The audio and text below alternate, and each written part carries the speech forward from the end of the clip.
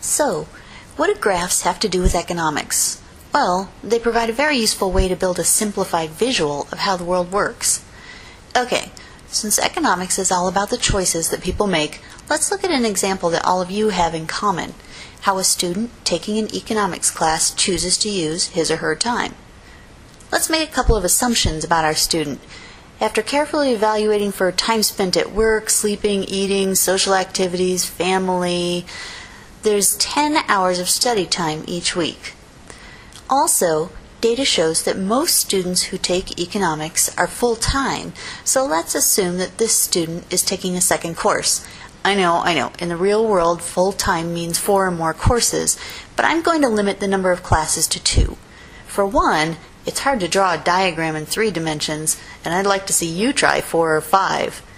For another, you'll see that even assuming only two classes, we can use this simplified model to illustrate how people make their choices. Now, what's the measurable objective of the student who's taking two classes, let's say economics and math, and has 10 hours per week to study? Grades. How well the student is doing is measured by grades. So let's put all of this information in graphical form. First, I set up my two axes and label each. One will be the grade in economics, the other will be the grade in math. What's the possible range of grades? Well, anywhere from an F to an A, or since we're counting on this graph, anywhere from 0.0 to 4.0. This is true for the grade in economics axis as well as the grade in math axis. Now, our student goes to classes on the first day. Math class isn't very stimulating, but the econ class is great.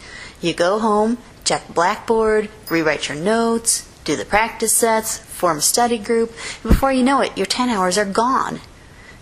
If indeed you put in 10 hours per week in economics, it's quite likely you'll get an A. But this leaves you with zero hours to work on math. If you do no studying or homework for math, you're going to get an F. This is our first point on the graph.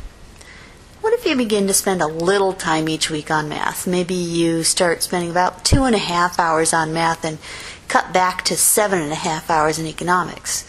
Well, the math grade is going to go up, and that's good news. Now you're at least getting a D in math. But because you took time away from economics, the economics grade is going to fall from an A to a B and so on. I can follow this pattern. If I were to spread my time such that I was using five hours for each class, I would get a C in each class. If I decide to spend seven and a half hours on my math class, leaving me with only two and a half hours for econ, the good news is my math grade's up to a B, my economics grade down to a D. Uh, finally, I could spend all 10 hours on the math class giving me an A in the math class, which is great, but that leaves me nothing to study for economics, and now I'm failing my economics class. Are there any other combinations the student could choose? Sure. He or she could pick, I don't know, 7 hours and 3 hours, or 6.2 hours and 3.8 hours, or 1 hour and 9 hours. There are an infinite number of combinations. These would be shown in the diagram between the points we've already chosen. Did you notice that once we've included all the points, this looks more like a solid downward sloping line than just some collection of points.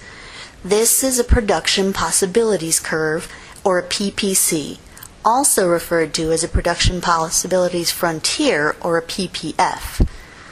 By definition, the PPC, or PPF, shows all possible combinations of output that can be produced, assuming two things. One, a fixed amount of productive resources of given quality, and two, efficient use of those resources. Well, did we do all this stuff? Hmm, yeah, we looked at all possible combinations of output by examining all possible combinations of grades that were being produced. Uh, fixed amount of productive resources is 10 hours of the student's labor. And efficient use of the resources, well, we, by definition, efficiency means that there's no unused or wasted or unemployed resources. And with every combination, we made sure that the student was using all 10 hours, so there's no unused study time. The production possibilities curve illustrates the positive analysis, all possible ways in which the student can choose to use his or her time.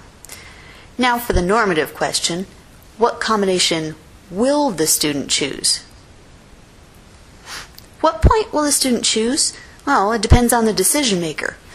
A student might choose a C in both classes because at least they'd be passing both classes. But what if the GPA in your major matters more than your overall GPA? If you're a business student, you might choose a B or an A in economics then over a passing grade in math. Well, I can tell you aren't satisfied with these choices. You're thinking, can't I get an A in both? No. Under the current assumptions, 10 hours of study, this combination is currently unattainable. Could I ever get there? Well, sure, if you can get some more time from somewhere, those additional 10 hours somehow. Maybe if you cut back at work or dropped another class or stopped sleeping, I don't know. Um, could the student choose, say, a D in both classes? Certainly, but you're wasting your resources, so you're not using all of your study hours for the intended purpose, which is getting the grades in the classes. So you see, even our very simple graphical model tells us a lot about how a person with more needs than resources must make decisions. Next time, opportunity cost.